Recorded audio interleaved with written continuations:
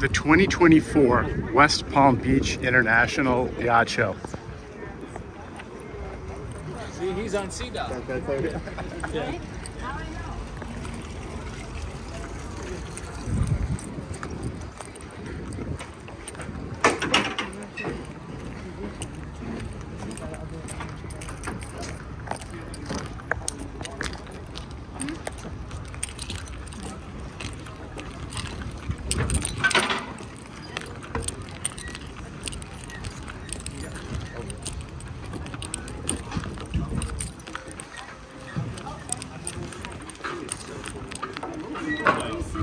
Yeah, you got six now.